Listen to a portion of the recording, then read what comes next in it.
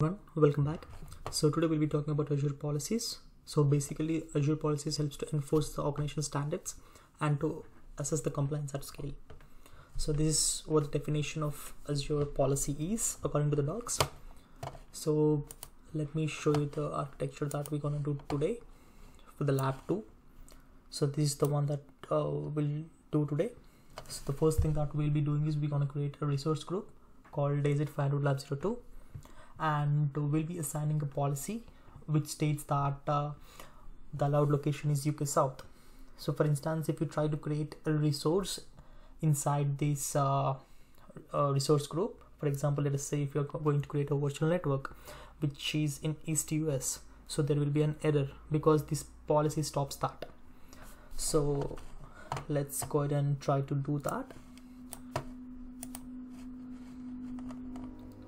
so according to the docs the first task is to create the resource group which is done by cloud shell so i've already done it just to save the time. So the first command that you will use is this is the one. So this is the resource group that we're going to create which is in east us so we have created the resource group.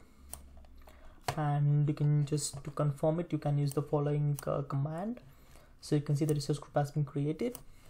So once the resource group is done uh, we have to create the policy now. For that we have to go to the policy. So you can just search for policy. And we have different options here. So just go to the definitions.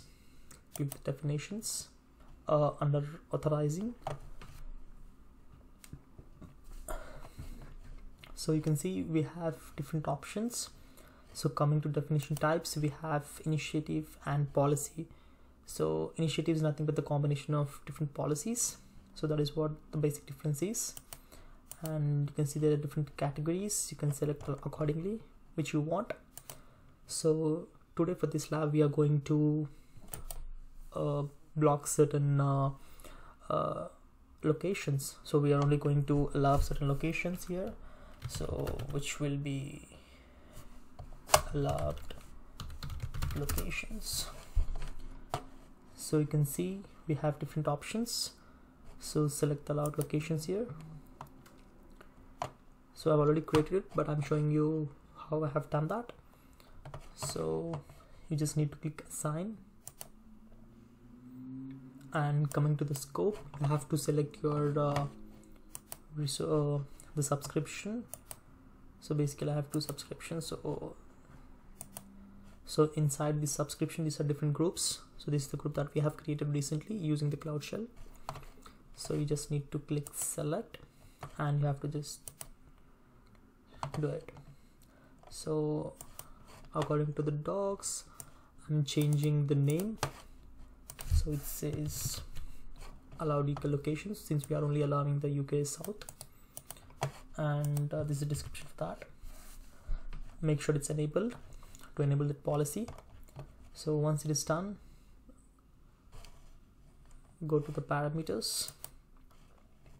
And here we have different locations. In this you have to select the location which you want to allow.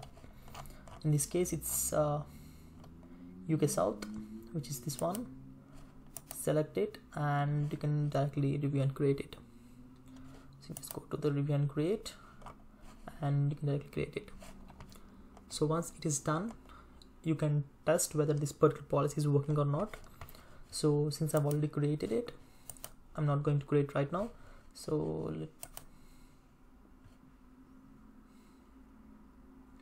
so you can see this is our policy that we have created.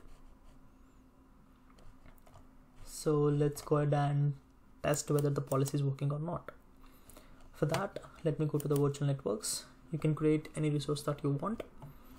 So create select the appropriate subscription select the group that we have used the policy which is uh, AZ 500 lab 05 so you can see whenever I select it uh, East US it shows that there is a policy enforcement. So the value doesn't meet the requirement on these resources. So you have to change this because there is a policy which is stopping this. So for instance if you select any location there should be an error. The error will be gone only when you select UK South which is this one. So now we can see there is no error. You can just give the name and you can just create it. So this is how you can uh, enforce your policies. I hope you guys understood the concept and make sure you delete the resource group so let me show you that one as well.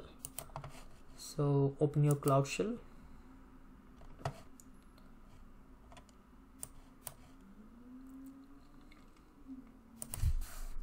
And uh, run this command. So it will be done.